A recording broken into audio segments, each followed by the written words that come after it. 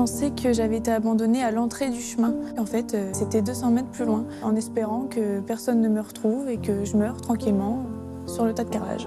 J'étais pas voulue sur Terre, on m'aime pas, euh, donc mes parents m'aiment pas. euh, à moins d'un miracle, euh, j'allais pas être retrouvée. Après, il y a la police qui est venue et c'est là qu'ils m'ont emmenée au café. Donc il y a la gérante qui m'a pris dans ses bras, pris soin de moi les premiers soins. Pour elle, c'était le jour de sa vie, quoi. Le...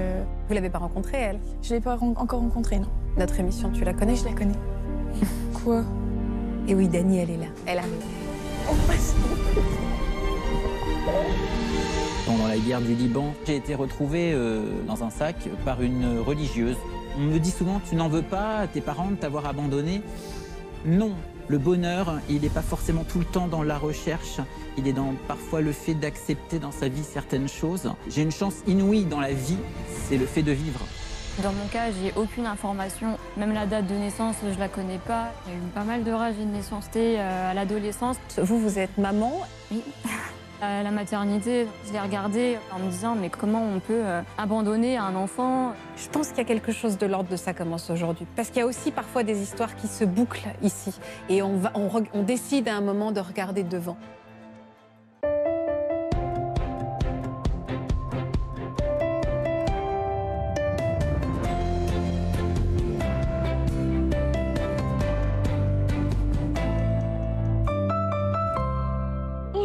M'appelle Valentine Merville et je vais vous montrer où j'ai passé euh, les premières heures de ma vie. Donc euh, nous sommes à la sortie d'un petit village qui se nomme Kirinamote. Donc euh, c'est sur ce tas de carrelage que j'ai été retrouvée. Nous étions le 3 octobre 2001, donc c'est le jour de ma naissance. J'ai été abandonnée vraiment quelques heures après ma naissance. J'étais emmitouflée dans un drap orange et il faisait à peu près 10 degrés ce jour-là. Donc c'est la première fois que je reviens sur ces lieux. Je suis euh, assez choquée de la distance qui sépare l'endroit où j'ai été retrouvée et la route. On est quand même à plus de 200 mètres. Euh, donc je me dis qu'il n'y avait pas vraiment une intention de, bah, de me laisser en vie, en quelque sorte. Donc euh, voilà, je suis un peu déconcertée de retrouver cet endroit et surtout euh, choquée.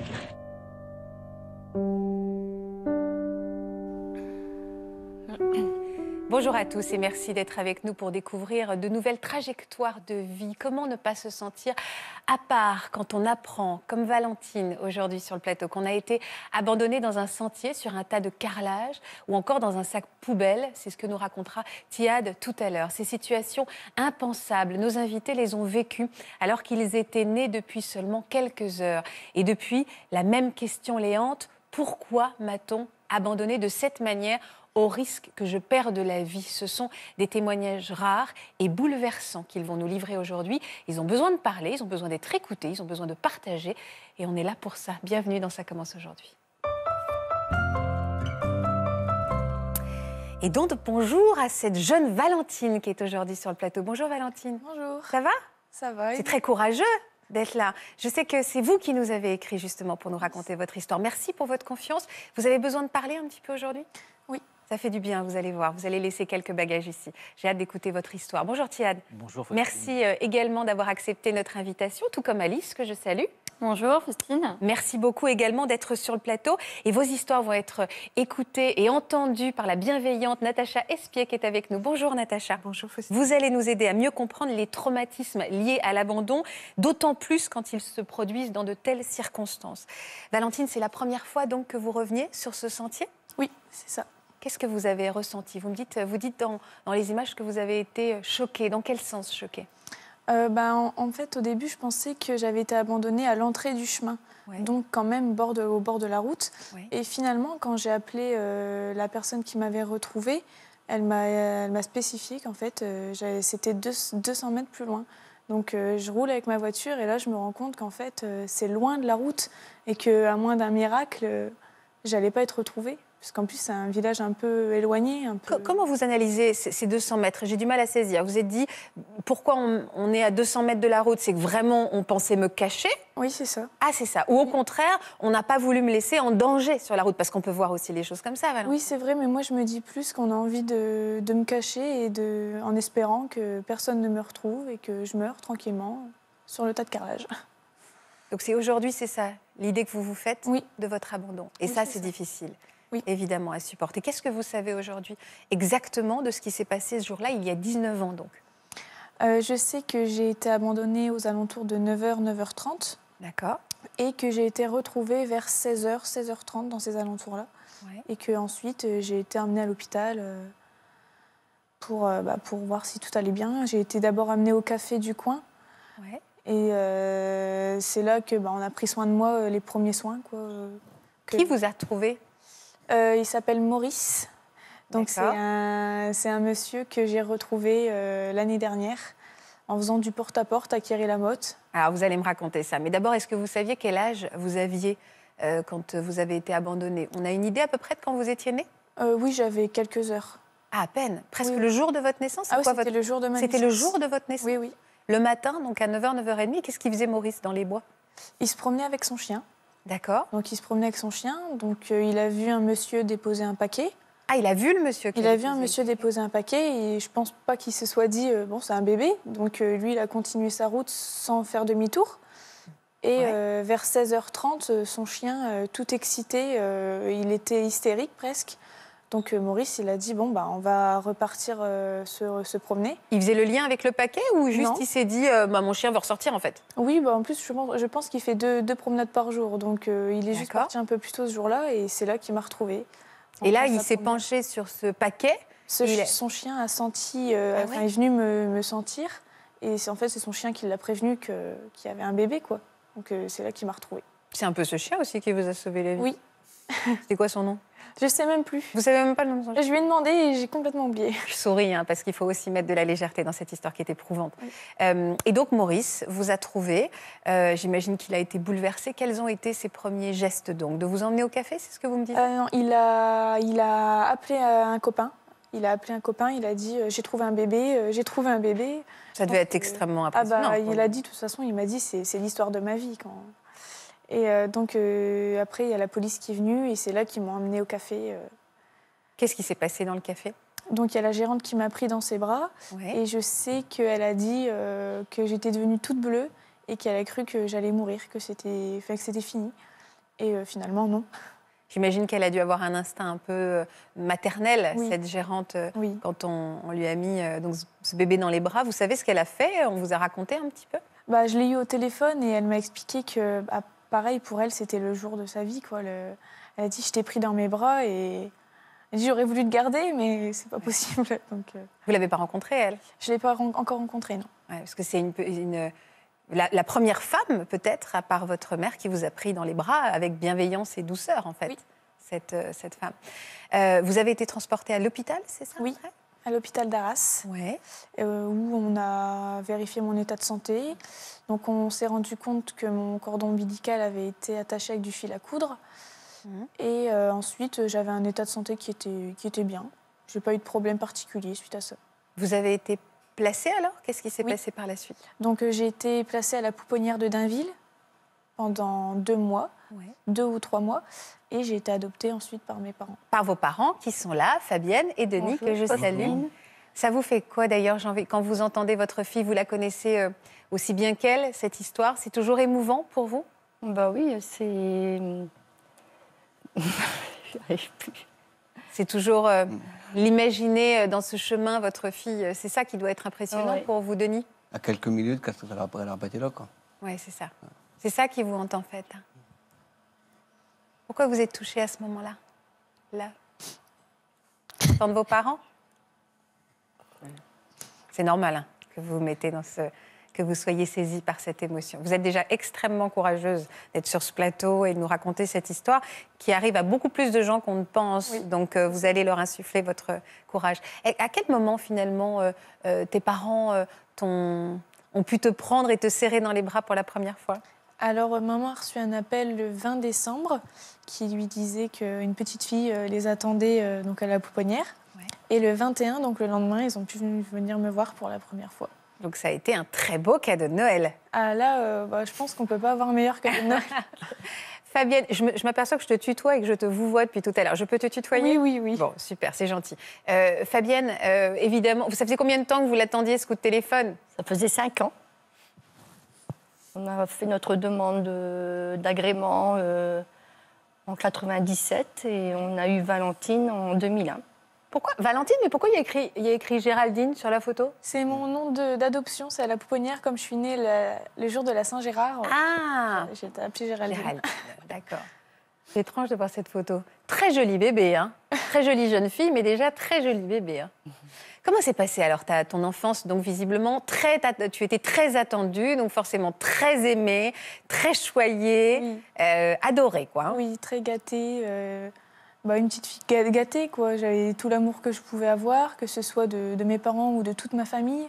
J'ai jamais senti une différence entre moi ou les autres personnes de ma famille. Donc, euh, Quel caractère tu avais?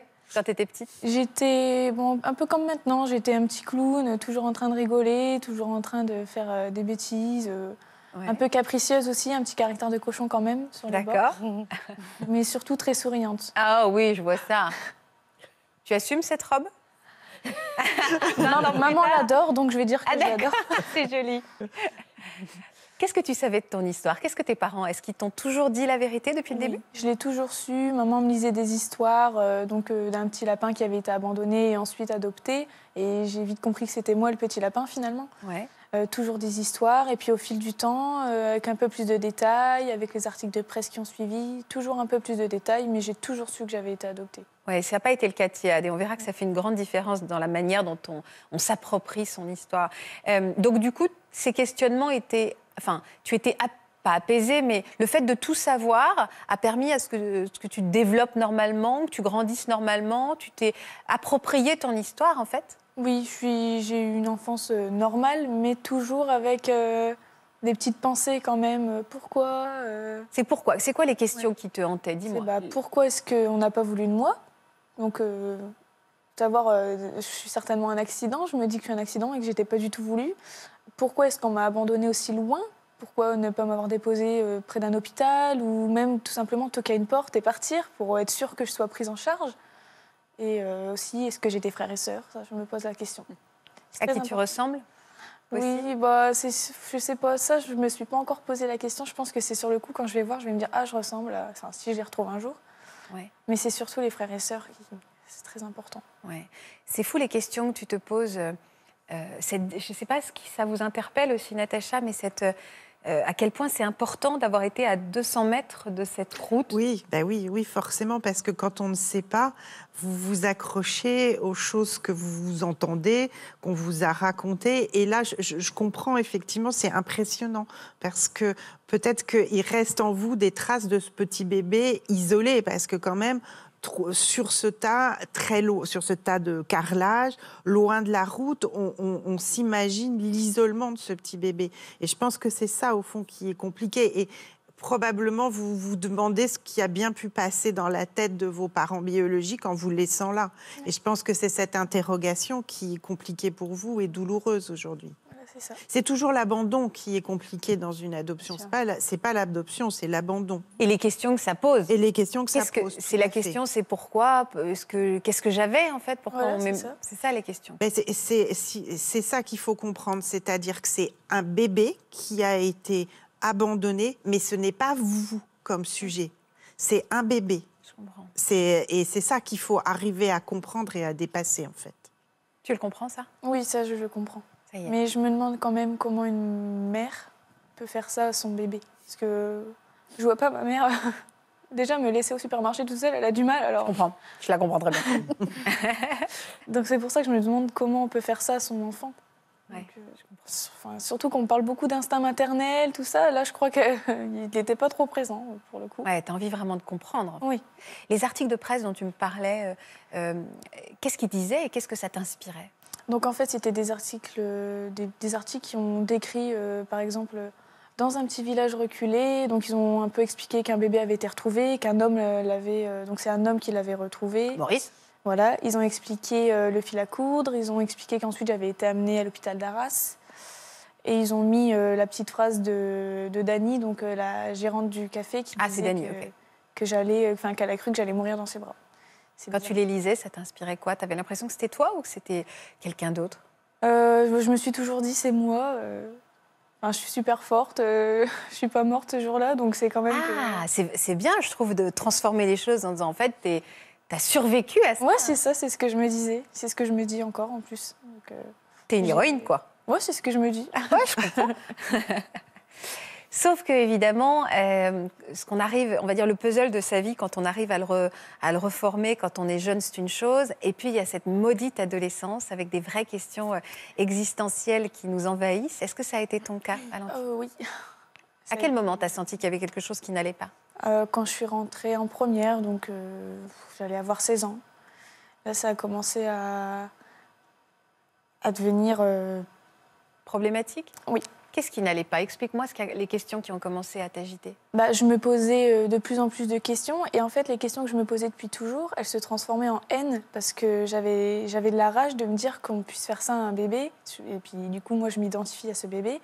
Et je me dis. euh, mais c'est que j'étais pas voulue sur Terre, on m'aime pas, euh, donc mes parents m'aiment pas.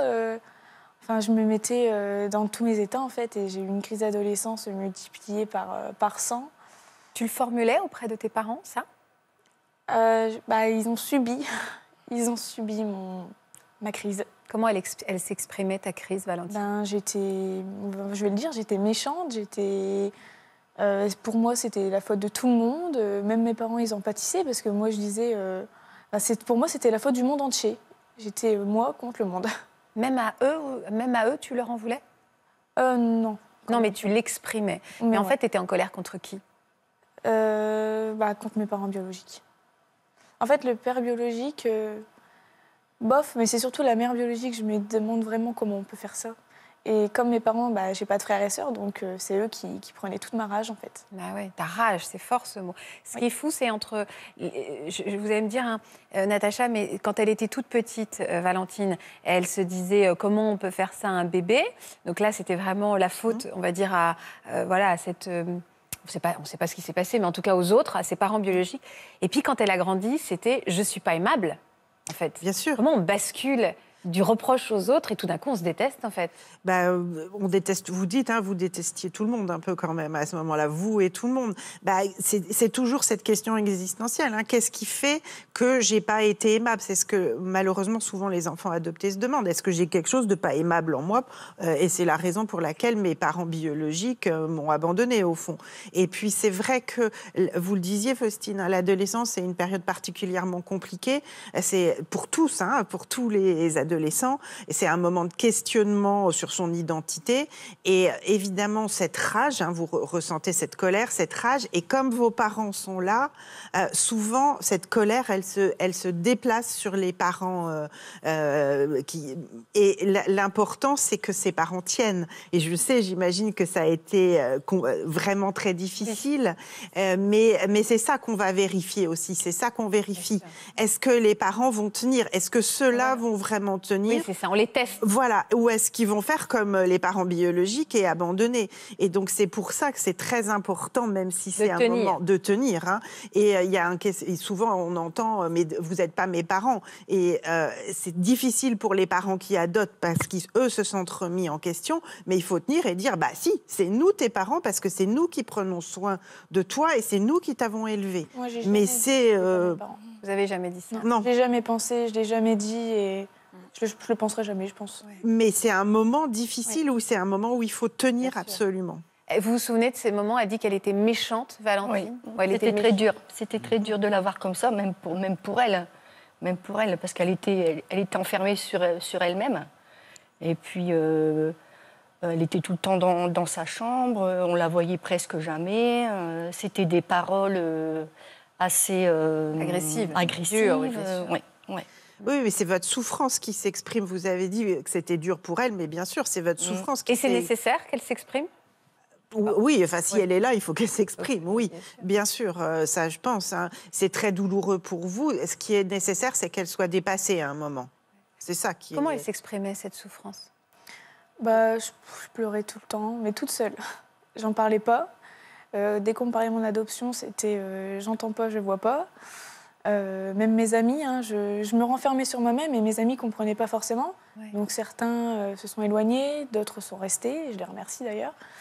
Euh, après, j'ai eu mon petit copain, donc forcément, il m'a beaucoup aidé. Mais ouais, je pleurais tout le temps. J'avais mes journaux intimes aussi qui m'aidaient à, à tenir le coup. T'as vu un psy? Au début, je voulais pas parce que je me considérais pas entre guillemets comme folle. Oui, ça c'est une vision un peu que- archaïque des psys, mais je sais que ça perdure un peu. Donc je voulais pas et c'est un jour où j'ai dit à maman, allez, allez, euh, maman m'en parlait beaucoup et j'ai dit bon allez là il faut, je veux, je veux aller mieux donc. euh, Et ça ai- t'a aidé? Oui, ça m'a aidé. Ouais. Bah, c'est une psychologue spécialisée dans les adoptions, donc euh, forcément elle a les paroles justes, elle, elle s'y connaît donc ouais, puis elle est très gentille en plus donc. À quel moment tu as décidé d'aller plus loin Puisque tu nous disais tout à l'heure que tu es reparti euh, dans ce village, donc à côté duquel tu as été retrouvée. Euh, à quel moment tu as voulu. D'ailleurs, je me pose la question tu as un dossier On a un dossier quand on ne sait pas du tout. euh, Oui, on a un dossier. Donc tu as demandé. Du coup, là, on t'avait pas encore 18 ans. On y a accès à 18 ans, je crois, à ce dossier. Alors, euh, on peut l'avoir quand on est mineur. Donc, mes parents ont fait une lettre D'accord. pour expliquer qu'ils étaient d'accord, que c'était bon. Moi, j'ai fait une lettre pour exprimer mon ressenti et mon besoin d'ouvrir le dossier. Donc, ça a été fait. J'ai ouvert mon dossier. Qu'est-ce qu'il y avait dans ce dossier? Il n'y avait rien. C'est en Il y avait fait, rien du tout. euh, il y avait par exemple mon carnet de santé de quand je suis née, ou les articles de presse, ou euh, un rapport d'enquête, mais aucune information sur mes parents biologiques, euh, aucune. Ça a été difficile. Oui, coup dur forcément. Donc après, j'ai arrêté les recherches pendant plusieurs mois à cause de ça. Hmm. Un petit peu refroidi. Bah, bien sûr. Alors, il a fallu repartir. euh, Qu'est-ce qui t'a donné envie de quand même de, de- de repartir à la quête de tes origines alors? Bah, c'est en fait, euh, j'ai eu mon chien. Ah bah alors, tu vois, finalement, les chiens ont joué un grand rôle dans ta vie. Oui, j'ai eu mon chien qui m'a. Oh, c'est un husky? Oui, Pourquoi tu pleures, Minette? Je sais pas. Il est toujours avec... euh, Oui, bah. Oui, ah bah super. Et euh, Il s'appelle comment ton chien? Oli. Donc euh, quand je l'ai eu, bah, Il t'a un peu sauvé visiblement, Ah oui. Oli. Il y a une histoire très forte entre, entre cette petite merveille et toi. Ça, c'est un beau sourire en tout cas. ça se voit sur la photo, j'étais encore en train de pleurer. Ouais, mais là, ça se transformait aussi un peu en bonheur. Ouais, bah, même là, c'est. Elle, m'a rendue heureuse en fait. Tiens, regarde. Bah, ça va, je- Tiens, Minette, tiens, tiens, tiens. Ah bah, tu vois, je- j'en avais pour toi. Merci. Et du coup, ben, je sortais plus parce que je la promenais. Je faisais tout le temps des câlins. Elle me donnait l'amour que, de l'amour énorme. Et euh, donc, je me suis sentie mieux au fur et à mesure. Et à un moment, je lui ai dit bon, allez, euh, je prends ma voiture et je vais acquérir la moto. Et et il y a une copine qui est venue avec moi d'ailleurs. T'as pas voulu que tes parents viennent? C'était une démarche que tu voulais faire toute seule? Enfin, avec ta Euh, copine?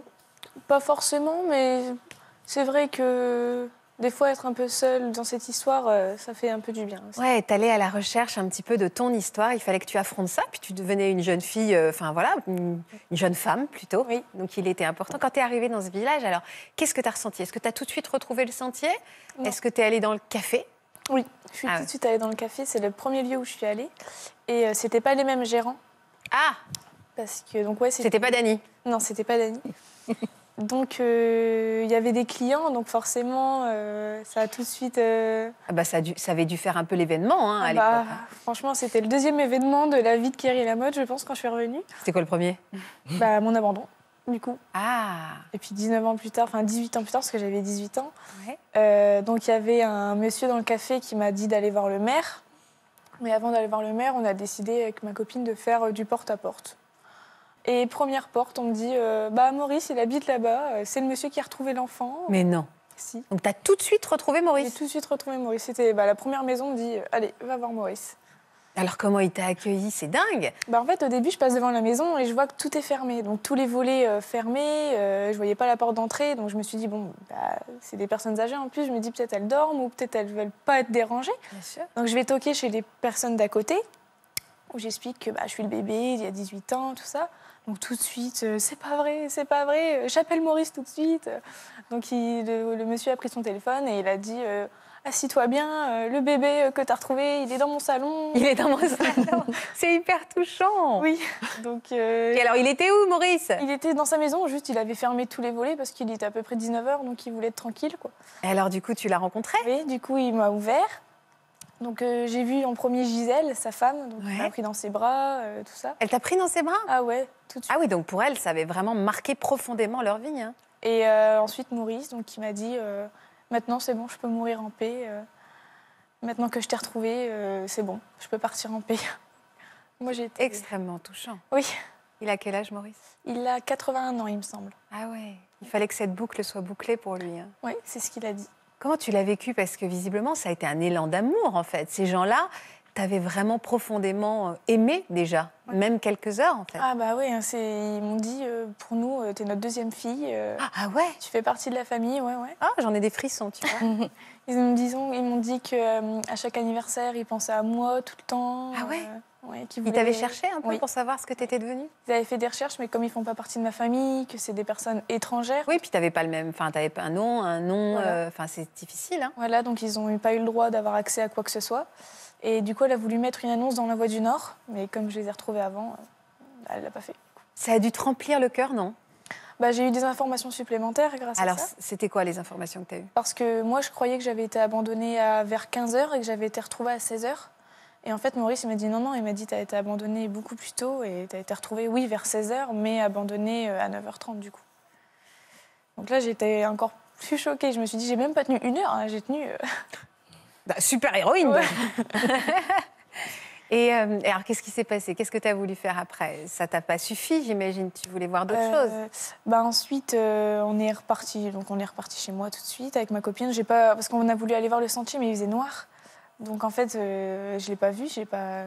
T'étais peut-être pas prête aussi. Peut-être qu'il y a une histoire de destin aussi. aussi. ouais. Mais en plus, le fait de rencontrer Maurice, ça m'a Apaisé un peu. hein. apaisée et surtout un peu chamboulée. Parce que je m'attendais pas à le retrouver. En fait, moi, j'étais pas partie à Kiri Lamotte pour trouver Maurice. J'étais partie pour avoir des informations sur mes parents biologiques. Donc, Ouais, et puis, ouais, c'est ça. C'était pas prévu, quoi. hein. Ouais, ouais, c'était pas prévu. Et en plus, à la première porte à laquelle tu Voilà. frappes, quoi. C'est fou, hein C'était, il fallait que tu le rencontres, ce Maurice. Oui, hein. c'est ça. Et le café, ti- oui, c'était pas les mêmes gérants, c'est ça? Non. Et du coup, après être allée chez Maurice, je suis repassée devant le café. Donc, il y avait euh, quadruple de personnes qui étaient avant. euh, parce qu'il y avait au moins deux personnes quand je suis allée pour la première fois. Et je vais chez Maurice une heure. Et quand je reviens, il y avait à peu près 10 personnes dans le café qui regardaient l'événement. à la fenêtre. Ah oui Ma copine a dit T'es une star Je dis Ouais. Je suis une héroïne et je suis une star. Tout le monde était là à la, à la fenêtre. Elle C'est ressemble à c'est quoi? Elle est, Ouais, c'est belle, elle, est, elle est belle, elle a réussi, c'est super. Ils devaient se réjouir. hein. Ils, ont tous dû se demander ce que tu étais devenue. hein. Oui, bah, en plus, euh, le maire m'a invitée à la cérémonie des vœux du village le 11 janvier. Donc, donc j'y suis allée et là, pareil, c'est- j'étais euh, l'invitée d'honneur, comme c'est écrit sur euh, l'article. Ah, c'est chouette. Voilà J'étais Pas Maurice. du tout prête pour la photo, hein. je précise. Je J'adore la précision. Et voilà Maurice. Et voilà Maurice. Il était dans quel état d'esprit, lui, à cette cérémonie?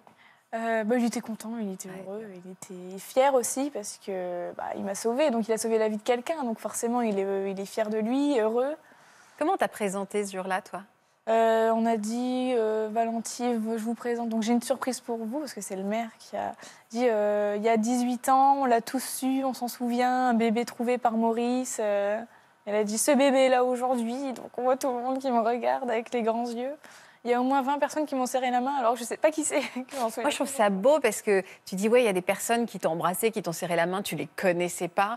Euh, et moi, je trouve que c'est un amour euh, totalement inattendu Oui. qui vient quand même combler des choses. Je suis persuadée qu'inconsciemment, tout d'un coup, c'est une légitimité, c'est une histoire, c'est un amour. Mais c'est votre histoire. Voilà, c'est de Elle l'affection. commence oui. là aussi, l'histoire. hein. C'est-à-dire, eh, OK, il y a eu un abandon et je comprends combien ce laps de temps, signifi- vous avez dû ressentir beaucoup, beaucoup de choses, hein, beaucoup, euh, beaucoup de- d'effroi peut-être, même bébé, entre 9h et 16h, c'est très long quand même. hein. C'est vrai qu'on on est vraiment complètement désolé, c'est un faible mot pour vous à, à cette idée-là, mais euh, oui, l'hi- l'histoire, elle commence là, elle commence avec Maurice, votre histoire aussi. hein. On est en train de faire une véritable star aussi de Maurice. hein. Voilà, Je pense qu'il y a plein de exactement. gens qui vont venir l'embrasser, Maurice, le chercher.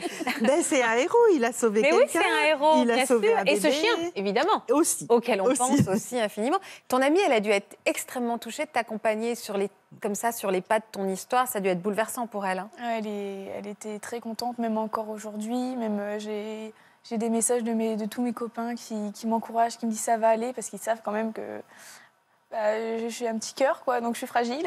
Ah ouais. Donc euh, ils m'ont tous envoyé des messages pour m'encourager, me dire qu'ils m'aimaient et qu'ils étaient fiers de moi. Donc euh, c'est vrai que ça aussi, ça me touche, parce que je me dis que j'ai des bonnes personnes qui m'entourent aussi. Bah, évidemment. Et ça, on a les personnes autour de soi qu'on mérite aussi, tu sais. C'est pas que euh, un amour gratuit, c'est toi qui l'appelles. Euh, comment elle s'appelle cette amie? Célia, Célia. C'est toujours une de tes très bonnes amies? Toujours. Regarde derrière moi. Non, pas là, là. Je suis pas dans l'émission, ça commence aujourd'hui. Donc je voulais te dire que j'étais super fière de toi et d'ailleurs je suis pas la seule, on est beaucoup derrière toi. Alors au début t'en parlais pas beaucoup, c'est vrai, jusqu'au jour où tu nous as envoyé un message pour nous dire que t'avais ouvert ton dossier. Je t'ai proposé ce jour-là d'aller à Kerry Lamotte dans l'espoir de trouver quelque chose, un indice, une personne. Et en effet, nous avons retrouvé Maurice. C'était un moment mais rempli d'émotions qui pour moi sera gravé euh, à vie. Je te fais des gros bisous, je t'aime fort et tu as aussi des bisous de Alex, Lola, Elise et Candice. Bonjour Valentine, je suis au Cévennes de Cléry. C'est ici que je t'ai amené quand je t'ai retrouvé et que Dani t'a prise dans ses bras. J'étais ému de te revoir 18 ans plus tard à ma porte. Je t'embrasse, à très vite. Il a un beau regard. hein. Je suis fragile. Hein. Non, non, non, non. Moi, je me dis que tu as été très aimée aussi dès le départ. Oui. La question qui te hante, c'est je n'ai pas été aimée. Moi, depuis tout à l'heure, avec tes parents qui sont en larmes et Maurice et ce regard si fort, je trouve que tu as été très aimée. C'est-à-dire que tu as, tu étais. Non, c'est vrai. Oui, hein. oui, c'est tout à fait beaucoup d'amour oui, oui. autour de toi. Bah, vous Euh, avez suscité tout de suite ouais. un élan élan d'amour. d'amour. Et ça, c'est important. Ça, c'est aussi votre construction. Et, et c'est fou, tu sais qu'il a voulu, Maurice, pour te faire ce message, il a absolument voulu aller au bar tabac. Parce qu'il voulait absolument se retrouver dans le lieu. euh, On est en train d'ailleurs d'en parler beaucoup de ce bar tabac qui va devenir extrêmement populaire. Pourquoi tu as voulu nous écrire aujourd'hui? Pourquoi c'était important, dis-moi? Euh, C'était important parce que je vais, bah, j'ai rencontré des personnes qui ont vécu la même histoire ou à peu près. Ouais. Donc euh, c'est vrai que savoir que je suis pas la seule, même si je le savais, rencontrer des personnes qui ont vécu euh, la même chose, ça, ça, bah, ça apaise. Je me dis bon, je suis pas la seule. Mais non, t'es pas Il y a des raisons. Il y a... Puis plus je grandis, plus je me dis, moi je- j'en veux à mes parents biologiques. Donc déjà, c'est déjà bien. Et euh, aussi, euh, bah, pour avoir des informations supplémentaires, peut-être, euh, je sais pas, je pense pas qu'ils vont m'appeler ou je sais pas, j'ai l'espoir, mais T'as l'espoir encore. hein. j'ai l'espoir qu'ils m'appellent, pas forcément pour construire un lien, pas du tout, mais pour savoir si j'ai des frères, un petit frère, une petite sœur, ou puis savoir pourquoi j'ai été abandonnée aussi. Ça, c'est ce pourquoi. hein. Ouais. Dans, dans le puzzle, dans le puzzle aussi de ton histoire, il y a des mains qui ont été très importantes. Euh, je voudrais qu'on y revienne deux secondes. C'est Dani. Euh, c'est vrai que c'est émouvant aussi. Euh, J'imagine qu'elle elle a dû être dans le même état de Maurice que Maurice quand tu l'as eu au téléphone. Raconte-moi quand tu l'as appelée, euh, ce qu'elle a ressenti, parce qu'elle aussi, elle a dû être bouleversée de un bébé qu'on lui met dans les bras, qui a été abandonné. Peu enfin, n'importe quelle femme, n'importe quelle mère fond et, et doit se rendre. Enfin voilà, elle doit être extrêmement touchée et émue. hein. Oui, donc bah, je l'ai appelée. Donc même moi, je pensais pas que j'allais l'avoir elle au téléphone parce que j'ai appelé un homme et cet homme m'a dit Ah bah attendez, euh, je vous passe Dani, elle est à côté de moi. Donc sur le coup, euh, je m'y attendais pas.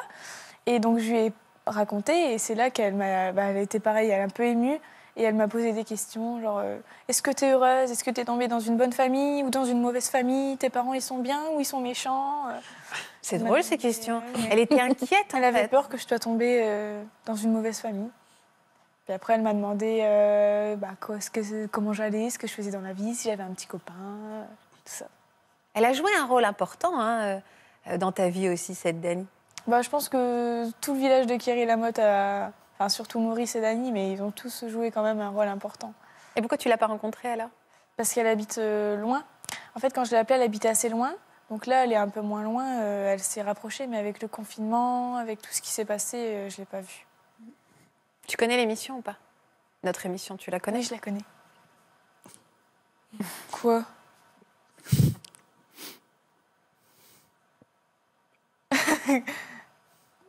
Quoi? Non Tu la connais, notre émission. Ah Oui, je la connais. Qu'est-ce qui serait super là maintenant? Et qui te ferait un peu de bien? Je sais pas, elle va être là? Tu crois que c'est possible? Bah, tout est possible avec cette émission, j'ai l'impression. Donc... Et oui, Dani, elle est là. Oh, regarde. Elle arrive.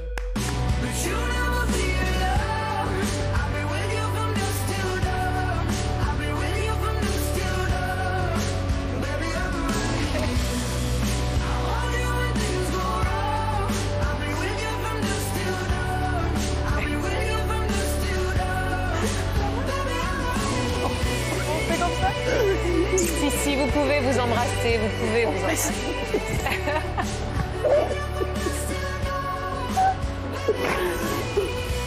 Ça va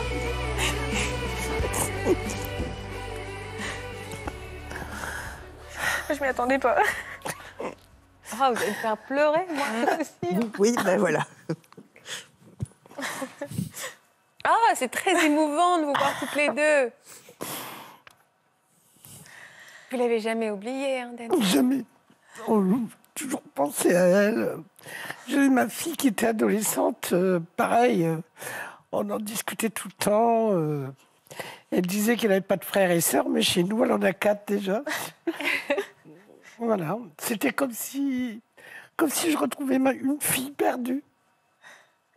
C'est fou, ça. Pour vous, c'était un petit peu Mais- votre bébé aussi. hein. C'est émotionnellement très difficile quand on est maman, qu'on on a ce bébé dans les mains. Euh, voilà, c'était comme si on m'avait donné ce bébé.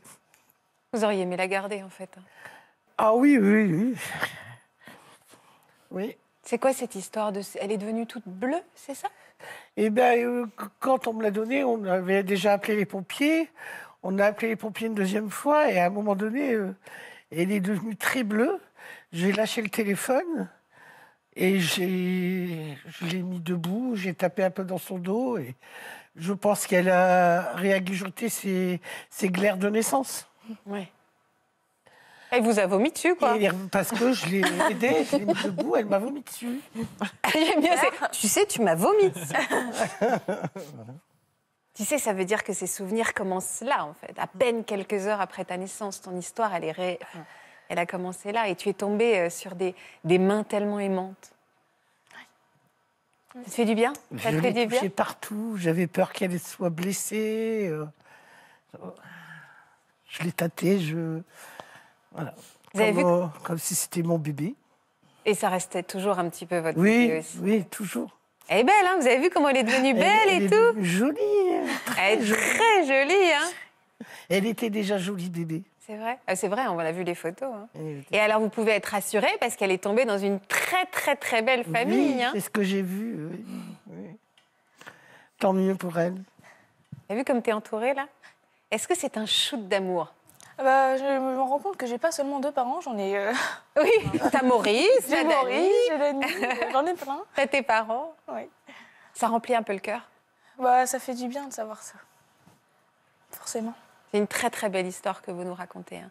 Au départ, elle aurait, c'est une terrible histoire qui se transforme en une belle histoire. Ouais. Et j'espère que cette émission va peut-être t'aider à, à- à trouver des indices, à avoir des gens qui vont peut-être se manifester, euh, pour avoir les pistes, pour avoir tes réponses. Est-ce que tu continues à, à y penser tout le temps? Tu veux savoir toujours. hein Oui, oui. C'est aussi pour ça que tu es là aujourd'hui. Oui, c'est pour ça.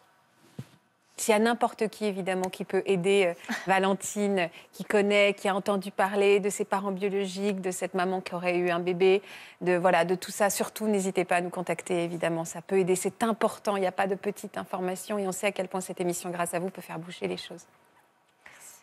Vous avez un petit peu plus de recul. Je ne donnerai pas votre âge, je suis polytiade, mais néanmoins, vous avez le mien, donc vous êtes très jeune. Oui, d'ailleurs on est du même signe et du même décan, né la même année. C'est fou, hein On est né à 15 C'est jours hein. d'intervalle. C'est vrai Ouais. Euh, Quand vous la voyez comme ça, ça vous rappelle celui que vous avez été avec les questionnements que vous avez eus? Votre histoire est un peu différente. Néanmoins, vous avez pu vous dire aussi pourquoi, pourquoi, pourquoi? Alors oui, je, je me suis retrouvé dans des questions qu'elle se pose encore et qu'elle s'est posées, mais dans mon, dans mon histoire, j'ai pas enfin, vécu la même chose, je ne l'ai pas euh, formulé de la même manière, on va Hmm. dire. Voilà. Dans quelles circonstances vous avez été abandonné, vous, Tiad Alors moi, j'ai été retrouvé euh, dans une rue de Beyrouth, euh, dans un sac, par une religieuse, en fait. Voilà.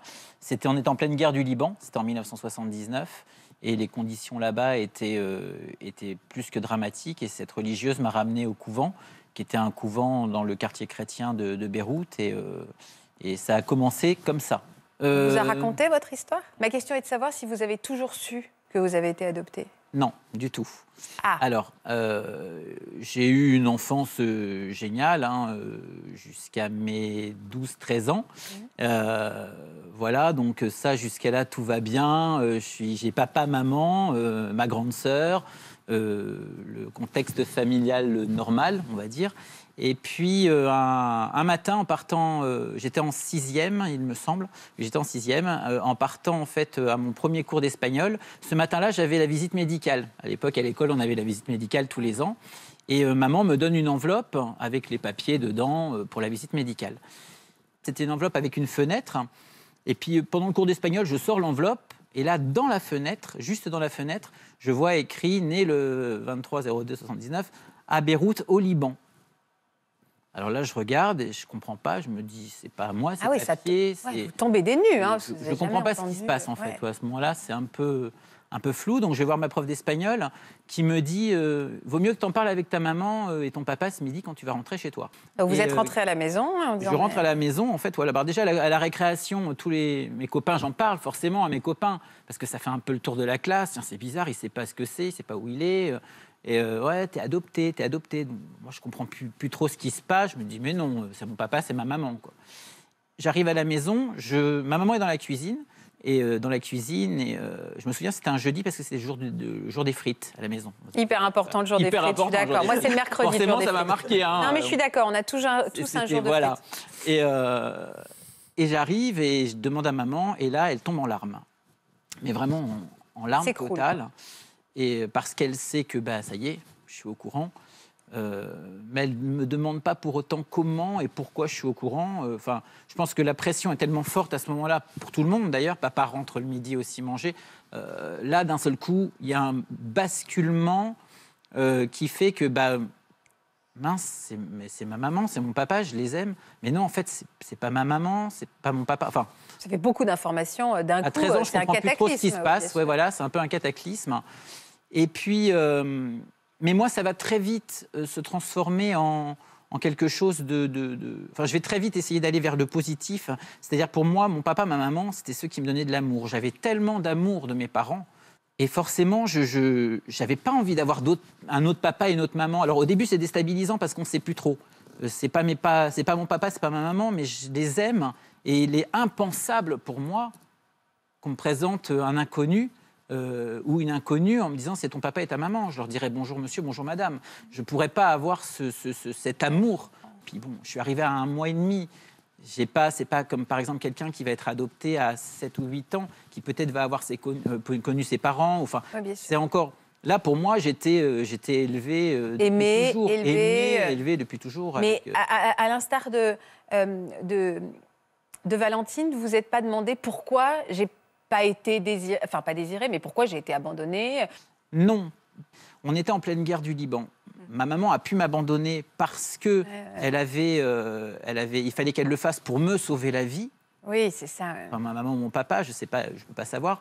Mais ou alors que c'était un abandon parce que c'était un bébé qui n'était pas voulu. Mais comme je suis toujours dans la recherche moi de quelque chose de positif dans ma vie, Tout de suite, vous je avez pas- vu ça. Ouais, je, je n'ai pas eu envie de me parasiter, on va dire, la vie avec des éternelles questions où probablement, ce qui est même quasiment sûr, je n'aurai jamais de réponse. Euh, J'ai une chance inouïe dans la vie, c'est le fait de vivre, d'avoir eu la chance de vivre une vie en fait. Et moi, tout tourne dans ma vie autour de ça, c'est-à-dire le fait d'être là, d'avoir eu des parents, parce que malheureusement ils ne sont plus là, d'avoir eu des parents qui m'ont aimé, qui m'ont donné de l'amour. Et, euh, et pour moi, ça, c'est suffisant à me dire j'ai une belle vie, je vais avoir une belle vie, Ouais. et je vais essayer d'aller encore plus vers une belle vie. Quoi. Voilà. C'est, ça te parle? Moi, je voyais le verre à moitié vide. C'est peut-être une question d'âge aussi, mais c'est vrai que je trouve ça assez incroyable qu'au lieu de vous que vous, vous ouvriez tout de suite la porte de la possibilité d'avoir été abandonné pour des bonnes raisons. Oui. Pour me sauver la vie. Ah, moi, je trouve que c'est une force de caractère, enfin, pas une force de caractère, mais une, Oui, oui. un choix, en fait. Un choix. C'est aussi un choix. C'est hein. un choix, mais c'est aussi vrai. Euh, en, fait, vous avez un début de- d'explication. C'est vrai que le Liban est en pleine guerre, et ça, ça offre tout de suite une explication qui est, bah, ils n'ont pas pu faire autrement. Oui, ce qui n'est pas le Ce cas qui de Valentine. ce Vous avez raison. pas le Il y cas a de un contexte Valentine. qui Il y a- peut expliquer. Voilà, il y a un contexte extérieur qui n'incrimine pas les parents Ouais, d'une certaine Oui, oui, je façon. hein. Et peut-être qu'à un moment, il faut décider que si on ne sait pas, bah, on Peut-être avance. que ça fait partie de Ouais, l'histoire de ne Peut-être que ça fait partie de l'histoire de votre vie. Donc vous, les circonstances, c'est-à-dire le fait qu'on vous ait trouvé dans un sac, tout ça, euh, contrairement à Valentine, ça la honte d'avoir été retrouvée à 200 mètres de cette route, vous, vous avez très vite fait abstraction de ça. Les circonstances même de la façon dont vous avez été abandonné ne vous ont pas hanté, Thiad. Non. Non, c'est pas- les Non, mais c'est bien, circonstances c'est pas- les, les pas circonstances ne m'ont pas. Après, j'ai euh, dans ma vie eu, eu la chance de pouvoir aussi l'exulter par mon métier, par rapport à plein de choses. Mais euh, La musique, c'est votre la musique. Vous êtes voilà, musicien. Exactement. Voilà, je suis chanteur et euh, effectivement, j'ai pu j'ai pu avoir la chance de, de- de monter un spectacle où je racontais ma vie, etc. Voilà, ça a été quelque part le moyen. Un peu thérapeutique aussi? Ouais, complètement, complètement. Ouais. Vos amis ont découvert votre histoire à travers vos chansons aussi, ou vous en avez toujours parlé ouvertement? Oui, non, il y a beaucoup de personnes qui ont découvert mon histoire euh, par, rapport à, par rapport à mes chansons, euh, forcément, parce que tous- tous les textes euh, quasiment sont, euh, sont, touchent, touchent à ça, touchent à, à mon histoire. Et quand vous écoutez l'histoire de Valentine, vous avez envie de lui dire quoi, vous? Moi, j'ai envie de lui dire, alors déjà, j'ai envie de, ce, que je, ce que je peux te dire, c'est sois heureuse dans ta vie, cherche le bonheur. Euh, que je, comprends totalement que tu veuilles retrouver en fait d'où tu viens euh, et que tu en fasses les démarches. Mais n'oublie jamais une chose, c'est que vraiment le, euh, le bonheur, il n'est pas forcément tout le temps dans la recherche, il est dans parfois le fait d'accepter dans sa vie certaines choses et de se dire que ben voilà, on a la chance de, de se réveiller tous les matins et puis de voir le soleil. Et moi, c'est ça, je me dis, j'ai eu la chance de de- de- de- d'être, euh, d'avoir cette vie, d'a- d'avoir la, la chance d'avoir la, de vivre, tout simplement, quoi, en fait. Alice, vous vous reconnaissez euh, plutôt dans le témoignage de Tiad, dans celui de Valentine. Est-ce que vous, cette cicatrice est refermée pour vous aujourd'hui? Pour moi, la cicatrice de l'abandon, elle n'est pas refermée. Et comme vous avez dit, Natacha, tout à l'heure, l'abandon et l'adoption, c'est deux choses différentes. Et je me retrouve euh, dans le témoignage de Tiad par rapport au début, parce que été abandonnée petite euh, à en Inde. Donc, euh, dans des circonstances, c'était en 91, il me semble que c'est la guerre du Golfe. Donc, c'est des, des conditions qui étaient aussi euh, assez dramatiques. Et. euh, et Pourquoi c'est difficile de l'avoir cette photo? Bah, Je sais pas. C'est un peu comme toi tout à l'heure. Je sais pas. Tout d'un coup, c'est une émotion. c'est une émotion parce que c'est vrai que c'est là d'où je viens et je me retrouve par rapport à Tia dans le début de vie. Parce que j'étais retrouvée dans, dans la rue, dans la foule, à Bombay. Donc c'est une atmosphère assez, assez pesante, assez lourde. Et euh, l'Inde, c'est un pays euh, complètement différent du nôtre. Bah, évidemment. Et je me retrouve euh, dans le témoignage de Valentine un peu plus tard sur l'adolescence et sur les questions, la crise un peu identitaire et sur le mal-être que tu as pu traverser, enfin ressentir et sur toutes les questions. Et pourtant, une enfance donc aussi très heureuse. Vous avez été très aimée. On va regarder quelques photos justement que vous nous avez confiées. Alice est une petite fille heureuse et pleine de vie pour le plus grand bonheur de ses parents. Pétillante et sociable, elle aime être au contact des autres et surtout des adultes. Son adoption n'est pas un secret et au sein du foyer, la communication et la transparence sont les maîtres mots. C'est au moment de l'adolescence que tout bascule pour la jeune fille qui commence à se poser des questions et à se mettre en quête de son identité. Maudite adolescence, hein C'est vrai. Ben, oui, c'est là où ça cristallise tous les soucis. Je me posais plein de questions euh, sur les débuts, le- effectivement, le pourquoi on m'a euh, abandonnée. Dans mon cas, j'ai aucune information, aucune. euh, même la date de naissance, je la connais pas. Les, les parents. Les... Vous savez pas le jour de votre naissance? Vous Non. connaissez pas le jour de votre Non, je connais pas du tout. Ça, ça vous, ça. Donc, on fête quand votre anniversaire alors, Alice? On fête le 4 décembre, en fait, parce que c'est euh, le jour où mes parents sont venus me chercher en Inde. Ils ont fait le trajet jusqu'à Bombay pour venir me chercher euh, à l'orphelinat, où j'ai été recueillie euh, à peu près pendant un an. Ils m'ont adoptée à un an. Et, euh, et je suis arrivée en France le 12 décembre 92, du coup. Donc on a établi cette date-là. Enfin, ils ont établi au 4 décembre euh, symboliquement pour euh, bah, mettre quelque chose sur le papier, d'une part, et d'autre part. euh, C'est compliqué de pas savoir sa date de naissance. C'est compliqué. Je ne me rends pas bien compte, Alice. Est-ce que c'est quelque chose qui, qui est difficile à vivre ou à un moment on se dit c'est anecdotique par rapport à mon histoire? Non, c'est assez compliqué à vivre et le jour J, euh, je ressens pas forcément d'émotions particulières parce que. euh, Vous dites c'est pas ce jour-là, quoi. C'est pas, c'est pas forcément ce jour-là, c'est peut-être qu'un jour avant, qu'un jour après. Je pense pas qu'il y ait une grosse différence non plus de, de trois mois. Et ce jour euh, représente pour moi pas grand-chose. Pour mes parents peut-être, mais je pense certainement c'est symbolique. J'ai pas vécu leur parcours. Moi, moi, le mien, euh, la date, elle est euh, purement anecdotique et effectivement, c'est plus compliqué. J'avais pas, j'avais pas pensé à ça, à quel point c'était compliqué de ne pas savoir ne serait-ce que le jour. Et c'est vrai que Valentine insiste sur le fait que même de savoir l'heure à laquelle elle a été retrouvée, le jour, c'était extrêmement important parce que c'est toutes les petites choses Bah, c'est qu'on peut réussir début, à oui. retracer. Oui, en oui. fait, hein. Alors, pour vos parents qui, eux, étaient dans un parcours d'adoption, c'est éminemment symbolique, hein, puisque eux, c'est c'est une certaine, c'est une gestation hein, Mm. qui, qui se conclut par votre arrivée. Donc, c'est très symbolique pour eux. Et, et, euh, mais je comprends que pour vous, ce soit, ce soit euh, beaucoup plus compliqué. Hein. Comment vous avez exprimé, vous, votre, votre mal-être? Est-ce que vous aussi, il y avait de la rage, de la méchanceté? Comment ça sortait de votre corps? Oui, Il y a eu pas mal de rage et de méchanceté euh, à l'adolescence, mais même plus petite. Euh, moi, j'ai dit à ma mère, hein, avec toute la bienveillance que j'ai pour elle aujourd'hui, je lui ai dit bah, T'es pas ma mère, et pourquoi vous m'avez adoptée si c'est pour me, me gronder comme on gronde un enfant quand il fait une bêtise? Ça, c'était plus à l'enfance et l'adolescence. Euh, j'ai beaucoup évacué par euh, bah, la musique aussi. J'ai fait pas mal de piano, de, d'écriture, euh, de tout, tout, ce qui était artistique. Et, et je me suis renfermée. Et collège, fin de collège, j'étais beaucoup renfermée sur moi-même. J'avais, j'ai eu des amis par la suite. Mm. Mais j'ai, été jusqu'à avoir des idées quand même assez noires, à me, tailler, enfin, me, me scarifier. ça, je ne l'ai pas forcément dit sur le coup. J'ai, j'ai plutôt caché. Et en même temps, je voulais que ça se voit. Enfin, c'est très paradoxal parce que je voulais qu'on voit mon mal-être, que ça n'allait pas. Et en même temps, euh, je voulais pas trop en dire. Donc, euh, avec tous ces écrits-là, j'en ai fait un livre et qui peut euh, servir de témoignage. Mais et là. pareil, je me suis dit, mais qui, qui ça peut intéresser? Et effectivement, par le biais de la page Facebook qui a le même titre que le livre, j'ai eu des témoignages, soit des personnes qui étaient dans le même orphelinat ou qui ont vécu des choses similaires et ça m'a aidé. Ça vous aide. Alors, revenons un petit peu en arrière. Vous n'avez pas eu envie, après justement cette détresse euh, qui s'est exprimée même sur le corps, de partir là-bas pour essayer de savoir, comprendre, avoir plus d'informations? J'ai eu l'occasion à l'âge de 20 ans, donc j'en ai 28 aujourd'hui.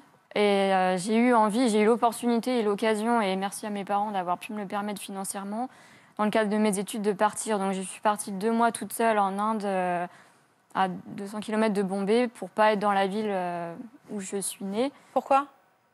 Par crainte de, ressentir euh, les émotions, je ne savais pas ce que ça pouvait donner. Je me suis dit, je vais aller à côté, comme ça au moins. Euh, ah ouais, c'est fou. Je me protège de. j'ai envie de savoir, mais j'ai pas hyper envie de savoir. J'ai envie de me laisser envahir, mais j'ai un peu peur. Voilà, c'est ça. Cette ambivalence. Hein. C'est assez ambivalent. Je voulais y aller toute seule, toute seule. Il n'y avait pas de parents, pas de copains, pas d'amis, rien. Et euh, ça a été très compliqué. Donc, euh, et en fait, finalement, c'est à Bombay que je me suis sentie le mieux. Et pour euh, écourter un petit peu, donc j'ai pu retourner à l'orphelinat. Donc je suis partie de fin octobre à fin décembre et j'y suis retournée une fois.